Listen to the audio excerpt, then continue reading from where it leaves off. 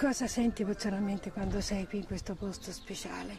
Che cosa ti rende nella tua anima questa cosa? Felicità che sono con mio papà. She feels extremely happy because she feels she's with her father again. Anche se non l'ho conosciuto, ma l'ho sempre desiderato. E qui mi sento arrabbiata, angosciata e felice. She has never met her father, but she has always wanted to meet him, and she feels extremely happy and angry at the same time. Would she like to give a message to young people? O che messaggio vorresti dare ai giovani per queste cose? Che non facciano la guerra, che fa tanto male. Never to do wars again, because war wounds people. Amore e pace. She wants there to be love and peace for the future.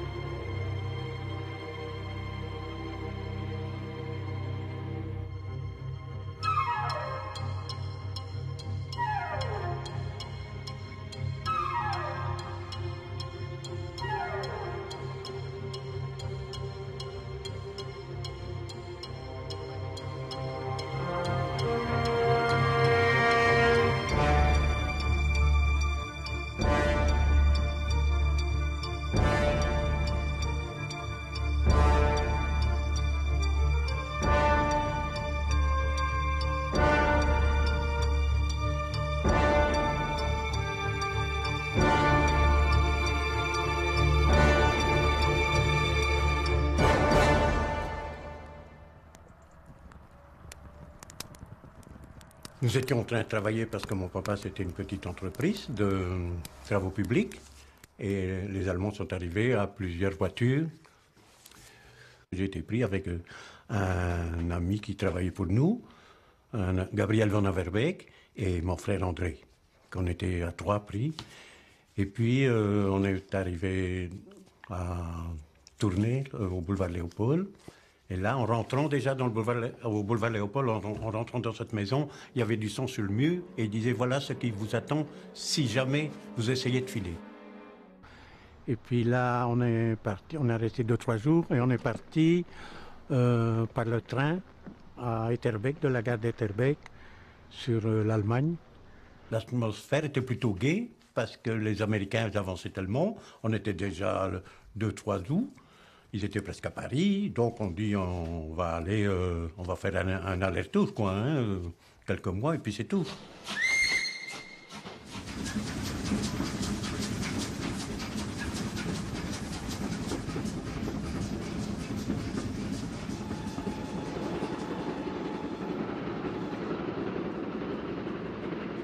toen zijn we heel de nacht door Duitsland gereden in traag tempo. Want ja, alles was al min of meer naar huis in Duitsland.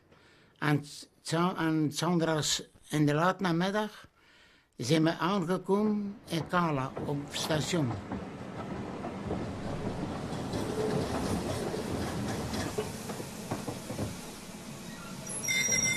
Als ons konvooi is aangekomen, dan waren we met een 600 of 700 man. Dan werden we in Kalla uit een trein gezet en dan stonden we op straat, omringd met onder en gestapo en veldje. Maar het was een heel politiezone. SS en alles stond erbij. En dan dachten de mensen dat wij partisanen waren. Dan werd er naar ons gespuwd en gedregen en alles. Eh, zeer vriendelijk was het niet. We waren zogezegd misdadigers. We waren tegen Duitsland.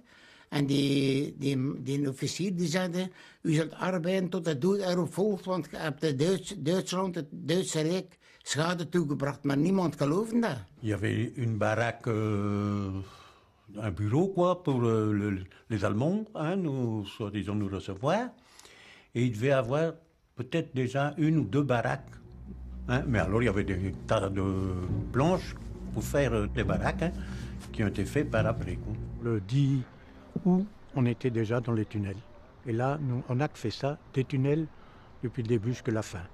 Toujours des, des tunnels. Alors, euh, comme j'ai déjà dit une fois à la télévision, qu'on avait un pain pour quatre au début, de 250 grammes par personne. Puis après, ce pain était pour six personnes. Et puis on a fini avec un pain pour huit personnes. Et celui qui était malade avait la moitié de toute la ration, plus une soupe qu'on avait qui n'était rien du tout, et un petit morceau, une rondelle de saucisson. C'est tout ce qu'on avait pour une journée. Et on devait travailler presque 12 heures par jour, parce qu'on avait plus d'une heure à une heure et demie de trajet à faire avant d'arriver au tunnel qui se trouvait au milieu de la montagne. Ik heb me misschien in vier, vijf maanden kunnen wassen. Hier alles was bevroren. Het was een hele strenge winter. En veel luizen. Slechte verzorging, geen medicamenten. Alleen oldschool. Dat was het enige medicament, anders niets. Die ziek werden, die werden ondergebracht in de krankenrivieren. Op, waren twee, daar waren twee krankenbarakken. Hè. En dat was juist het voorgeboorte om te sterven. Hè. Als je daarin kwam, dan kwam dat praktisch nooit niet meer uit. Je kreeg maar nog pensioen, je werd ziek. Je had geen verzorging. Je moest gewoon doodgaan. Hè. Het enige probleem was overleven. Dat was overleven. Hè. D'une façon, on a su que c'était soi-disant des avions à réaction. Mais nous, du fait qu'on creusait toujours des tunnels, on je n'ai jamais vu vraiment les avions, à part deux, trois qui ont monté pour les essais, là, au-dessus de la montagne, qui avait une, euh, piste d'aviation au-dessus de la montagne. Et c'est ça qu'on a appris, que c'était des avions à réaction qu'on faisait. Et que nos Allemands qui nous euh, commandaient là pour euh, le tunnel, nous disaient que ça allait faire plus de 1000 à l'heure. Mais nous, on devait, moi, j'ai toujours creusé, rien que ça, toujours creusé, creusé dans ce tunnel, et c'est ça qu'on n'a jamais vu l'usine proprement dit, quoi. hein. On doit surtout faire euh, un projet de mémoire, mais on doit surtout pas oublier les victimes, parce que faut pas, comme ici, quand on faisait des avions à réaction, faut pas vanter les ingénieurs. C'était magnifique ce qu'ils ont fait, c'est vrai, mais avec quel sacrifice qu'on a eu, nous étions peut-être 12 000 là, que sur les 12 000, il y en a eu plus de 6 000 de morts. Et surtout ceux-là qu'on ne peut pas oublier. hein. Hein, parce que maintenant, on- lorsqu'on me voit, on regarde, on dit, non, de Dieu est bien. hein, pour son âge, je vais avoir 85 ans, c'est magnifique. Mais lorsque je suis rentré, je pesais 36 kilos, deux ans sans travailler.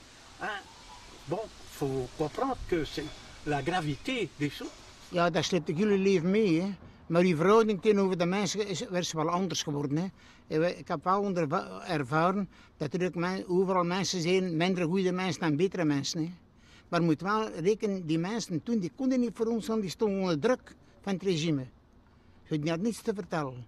Het mensenvergrijp was naar Oostfront. Voor die mensen. En die wilden dat vermijden. Hè.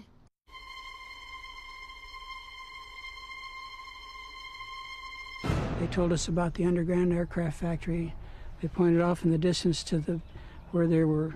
They said, "Don't go there. There's typhoid and all that type of thing." I told my company commander that th- there were 15,000 people in these camps, that they needed medical attention, that they needed food, and I also told him about the aircraft factory. He radioed that back to our headquarters, and I don't know, but I hope that my message is what brought the Red Cross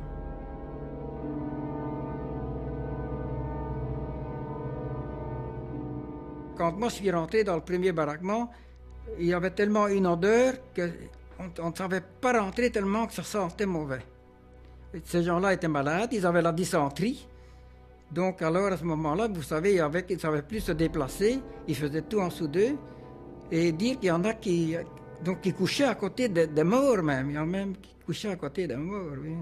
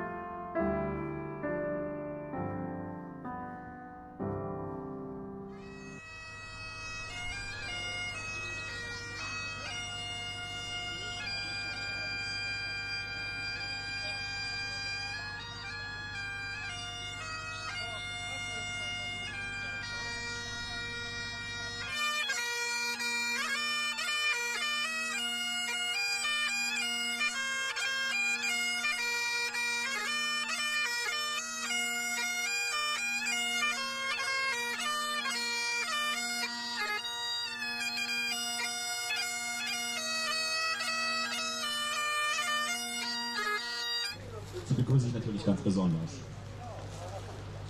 Das tue ich im Namen des Veranstalters dieser Gedenkstunde,